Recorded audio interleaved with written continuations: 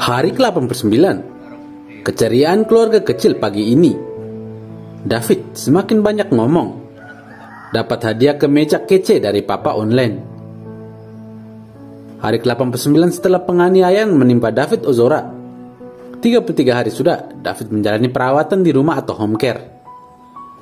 Ayah David Jonathan Latumahina atau akrab dipanggil Ayah Joe kembali mengabadikan momen bahagia keluarga kecil ini di pagi hari.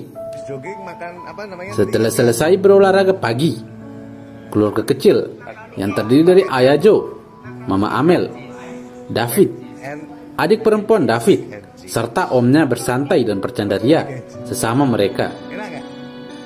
Mama Amel pun terlihat santai dengan baring di atas lantai. Sedangkan David nampak pipinya semakin cabi karena nafsu makannya sudah normal. David seperti terlahir kembali. Wajahnya kelihatan sangat segar.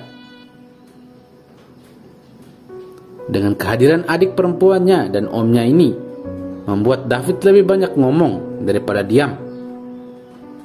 Kehadiran mereka juga membuat rumah menjadi tak sepi dan menjadi ramai. Pakai M Macaroni keju. Mac cheese. mac and Mac and cheese. mac and cheese Macaroni keju. makaroni keju enak nggak Karo sego enak ya Karo sambal Enak apa? Eh? eh, Ah, harus dikirimi alpukat orang putih. Ya. Terus aku ke toko tadi.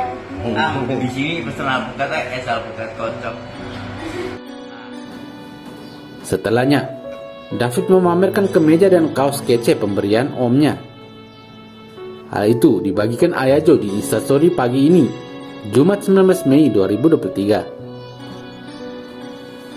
Selalu ada jalan untuk orang baik yang ingin mendukung agar David cepat beraktivitas seperti biasa. Tuhan sudah mengatur jalan hidup Ananda David. Tetap kuat dan tetap semangat. Jangan lupa subscribe agar tidak ketinggalan berita kondisi David hari demi harinya.